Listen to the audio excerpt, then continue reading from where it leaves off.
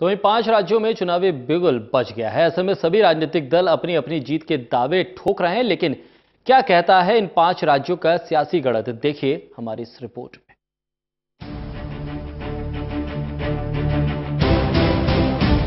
विधानसभा चुनाव को लेकर मध्य प्रदेश, राजस्थान, छत्तीसगढ़ और मिजोरम में इन दिनों सियासी उफान चरम पर है। खास तौर पर मध्य प्रदेश और राजस्थान को लेकर बीजेपी और कांग्रेस के तमाम बड़े नेता अपनी पूरी ताकत झोंके हुए हैं। बीजेपी की ओर से जहाँ खुद प्रधानमंत्री नरेंद्र मोदी और पार्टी अध्यक्ष अमित शाह मोर्चा संभालते हुए हैं तो वहीं कांग्रेस अध्यक्ष राहुल गांधी भी लगातार दोनों राज्यों के दौरे पर कांग्रेस के पक्ष में माहौल बनाने में जुटे हैं। हालाँकि इन चुनाव में कौन बाजी मारेगा, ये तो वक्त ही बताएगा, लेकिन फ़िलहाल इन राज्यों के सियासी समीकरण क्या कहते हैं, इस पर एक नज़र डालते हैं। मध्य प्रदेश में क्या है मौजूदा स्थिति? मध्य प्रदेश में विधानसभा की कुल 231 सीटें हैं। जिनमें से 230 सीटों पर ही चुनाव होते हैं और बाकी एक सदस्य को नामित किया जाता है। प्रदेश में पिछली बार साल 2013 में विधानसभा चुनाव हुए थे, जिसमें बीजेपी को एक सौ सड़सठ सीटें मिली थी, जबकि कांग्रेस को सत्तावन, बसपा को चार और अन्य के खाते में तीन सीटें आई थी। कौन कौन सी पार्टियाँ हैं मैदान में? वैसे तो मध्य प्रदेश की सियासी लड़ाई प्रमुख रूप से कांग्रेस और बीजेपी के बीच ही है। लेकिन इसके अलावा मायावती की बहुजन समाज पार्टी भी राज्यों में एक बड़ी ताकत है हालाँकि इस बार के चुनाव में इन तीनों पार्टियों के अलावा भी कई पार्टियाँ मैदान में उतरने की तैयारी में हैं। इनमें समाजवादी पार्टी, गोंडवाना, गणतंत्र पार्टी और जस जैसे संगठन शामिल हैं। इसके साथ ही एस सी एक्ट और प्रमोशन में आरक्षण के खिलाफ स्पार्क्स की अनारक्षित समाज पार्टी ने भी चुनाव लड़ने का ऐलान किया है राजस्थान में क्या है सियासी समीकरण राजस्थान में विधानसभा की कुल 200 सीटें हैं चुनाव से देखें तो एक बार यहाँ बीजेपी और एक बार कांग्रेस सत्ता में आती है और साल 2013 के विधानसभा चुनाव में ये ही देखने को मिला था। जब बीजेपी ने कांग्रेस को सत्ता से बेदखल कर वसुंधरा राजे के नेतृत्व में सरकार बनाई थी। 2013 के चुनाव में बीजेपी यहाँ एक सीटों के साथ सबसे बड़ी पार्टी बनकर उभरी।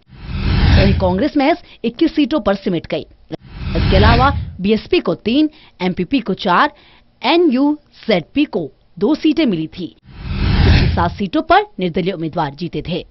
कौन कौन से दल होंगे राजस्थान के रण में? मध्य प्रदेश की तरह ही राजस्थान में मुख्य रूप से कांग्रेस और बीजेपी के बीच टक्कर है। हालाँकि इन दोनों दलों के अलावा भी कई क्षेत्रीय पार्टियाँ इन चुनाव में अपनी किस्मत आजमा रही हैं। बीएसपी और नेशनल पीपल्स पार्टी के अलावा घनश्याम तिवारी ने बीजेपी से बगावत कर अलग भारत वाहिनी पार्टी बनाई है। इसके अलावा निर्दलीय विधायक हनुमान बेनीवाल ने भी अपने समर्थकों को चुनाव में उतारने की प्लानिंग की है। छत्तीसगढ़ में कांग्रेस पर भारी बीजेपी, छत्तीसगढ़ में विधानसभा की कुल नब्बे सीटें हैं। 2013 के विधानसभा चुनाव में बीजेपी को उनचास, कांग्रेस को उनतालीस, बसपा को एक और अन्य को एक सीट मिली थी। रमन सिंह की अगुवाई में बीजेपी ने लगातार तीसरी बार कांग्रेस को मात देकर सरकार बनाई थी। बता दें कि छत्तीसगढ़ में कुल 27 ज़िले हैं। वहीं राज्य में कुल इक्यावन सीटें सामान्य 10 सीटें एससी और 29 सीटें एसटी के लिए आरक्षित हैं। बीजेपी कांग्रेस के अलावा कौन कौन होंगे मैदान में? छत्तीसगढ़ की सियासी रणभूमि में मुख्य मुकाबला बीजेपी और कांग्रेस के बीच है।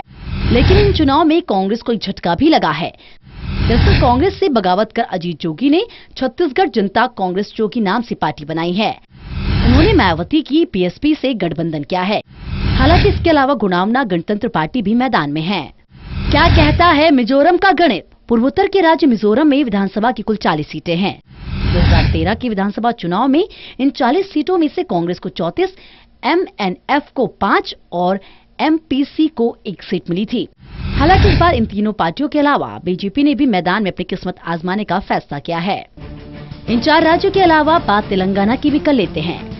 हालाँकि वैसे तो इस राज्य में चुनाव अगले साल लोकसभा चुनाव के साथ होने हैं लेकिन तेलंगाना के मुख्यमंत्री केसीआर ने समय से ही पहले विधानसभा भंग करने की सिफारिश कर दी थी। तेलंगाना के सियासी समीकरण पर नज़र डाले तो यहाँ कुल 119 विधानसभा सीटें हैं जिनमें से केसीआर की पार्टी टीआरएस को 90 सीटें मिली थी जबकि कांग्रेस को 13, ओवीसी की पार्टी एआईएमआईएम को सात बीजेपी को पाँच टीडीपी को तीन और सीपीआईएम को एक सीट मिली थी। और इस बार भी इन्हीं पार्टियों के बीच मुकाबला है। National desk